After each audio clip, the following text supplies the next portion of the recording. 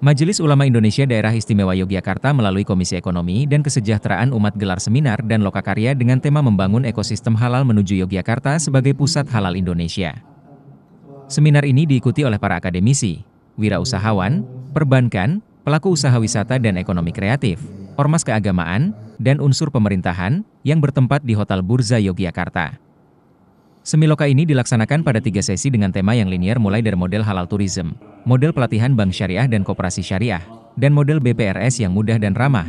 Dari sesi awal diharapkan muncul dialog-dialog BMT berbasis masjid, UMKM syariah, wakaf untuk memberdayakan ekonomi berbasis masjid.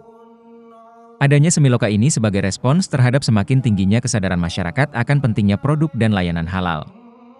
Saat ini, Yogyakarta, dengan keanekaragaman budaya dan kekayaan potensinya, memiliki peluang besar untuk menjadi pusat ekonomi halal yang tidak hanya memenuhi kebutuhan lokal, tetapi juga menarik wisatawan dan investor dari berbagai daerah dan negara.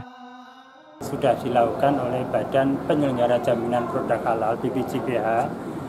Kalau kemarin itu eh, pemerintah di bawah Kemenak, nah sekarang di bawah Presiden. Nah supaya kalau sertifikasi produk itu sudah merata se-Indonesia, nah kita berharap di setiap daerah itu ada model, model bagaimana pengelolaan uh, ekosistem halal itu, sehingga memudahkan masyarakat mengambil manfaat dari adanya ekosistem itu dan syukur diharapkan muncul banyak peluang uh, usaha, peluang pekerjaan buat rakyat Indonesia.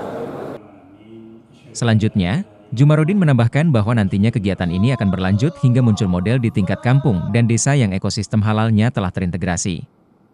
Tim TV mau mencerahkan dari Yogyakarta.